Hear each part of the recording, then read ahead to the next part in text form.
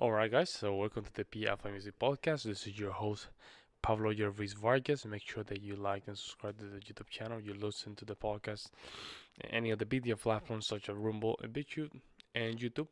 If you listen to the podcast in Anchor.fm, which is my host uh, for my podcast, make sure that you um, just keep a simple play and just share with your friends. I'm gonna really appreciate it.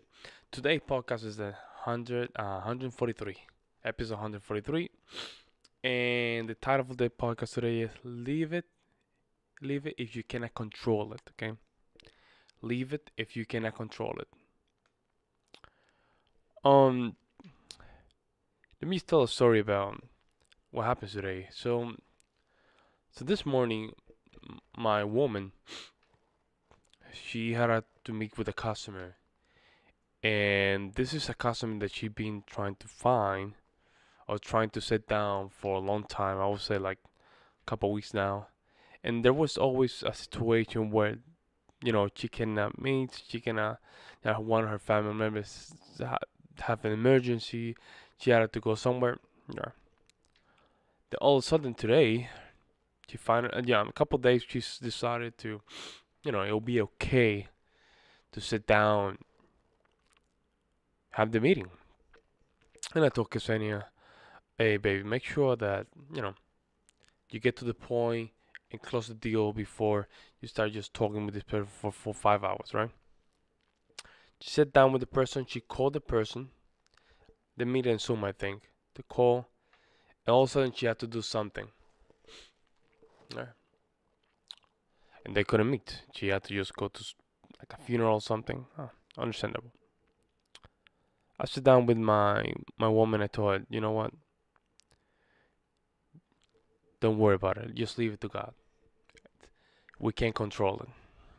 This is something that you she wants. It's okay. This is something she doesn't want. It's fine, but I, think best right now, just leave it to God. And forget about it. We can't control it. She sat down. Said, uh, time passed today. She sat down and closed the deal. Closed the deal very well.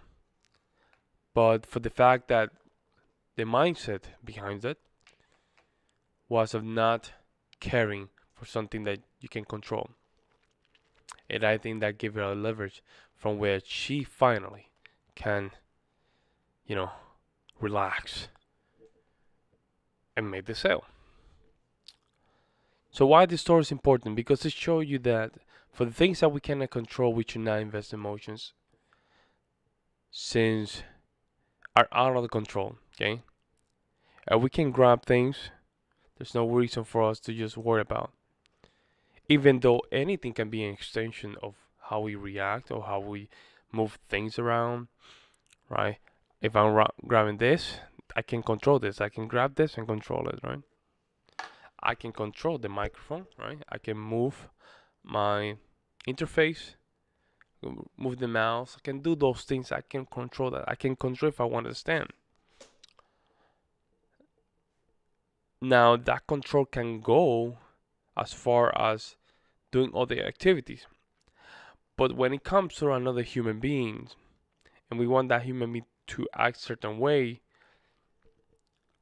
it's hard for us to control what they what we want them to do. Um, and don't get me wrong, is I would love to just you know make people do certain things, but it's not the reality. So having that mindset behind our daily life, right? We understand what it's important for us to distinction things that are in our let's call it reach and things are way over our reach and we cannot do anything you know calling someone making calls showing importance and love to you know those loved ones being there for people Make sure you you do your diligence, going to the gym, eating healthy, all those things we can control them. Now, what we can control is outside events, politics, um, um, I don't know, your your parents or your family from out of state, something.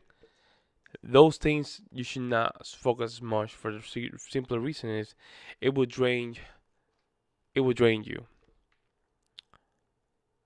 And if it's gonna drain you, why you should invest emotion in it? If my woman invested in emotions, thinking like, oh, I want her to do this. I want my client to do this, and she will do this. You can think, oh, Pablo, but that's thinking in, um, in existence. Be careful. It is thinking or manifesting a future event, but what if that future event doesn't happen? What's the answer? If it doesn't happen the way you want, it will be good. Ah, if it doesn't happen to the way you want, it's not gonna be good, right? Exactly. That's why it's important for you to have plan A, B, and C. For the fact that when these things happen and you're out of control, it's good for us to understand that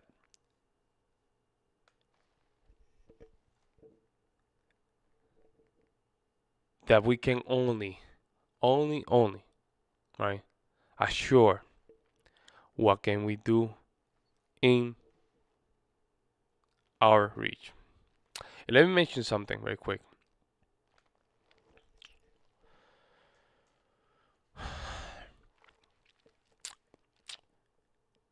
There's small details in my life where I know I can improve and I can, you know, make sure those things are done. And I notice every time I don't do, I don't don't do those things, I lose momentum. And as I lose momentum, I get mediocre results. And I cannot blame myself. I cannot blame anybody else. Only myself, just mediocre results. Now, I'm not saying that because those mediocre results are unfair. I should just cry in a corner. No, no, no. I'm saying that the pattern is every time when I don't do certain activities or certain things, right? I have my results, and my results could be mediocre. There's no one that I cannot just blame but myself. Now, different from all the things where I cannot control, whether that result was good or not should not interfere with my emotional state. For the reason being, that that emotional state unless I created created an attachment for things that it could give me a reason to live or whatever, right? Now, if that event go the way I don't want it, I'll be affected by it. Make sense? Now, why why why it's important to understand this, right? I think we tend to get caught up on activities or things that really don't matter. Really don't make any difference. Really doesn't contribute anything to a life. It can only contribute dissent resentment, bad emotions, bad ideas, and overall frustration. Now, if you're getting all those stuff and things or results from outside event. Why they matter? Why worrying about an NBA or basketball, baseball player, whether he makes points or runs? About celebrities, op- opinions of celebrities opinion of people that you don't even know. Why? It's an opinion that you cannot control. Why worrying about too much? Is that person going to give you anything? Or is that person going to teach you anything with that opinion? I think it just says too much of ourselves. My humble opinion.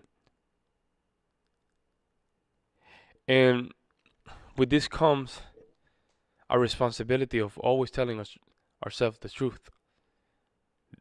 That I, I would say that's the only responsibility that we have. Telling ourselves the truth. And we cannot tell ourselves the truth. it, it is a bad spot to be. Which is not recommended.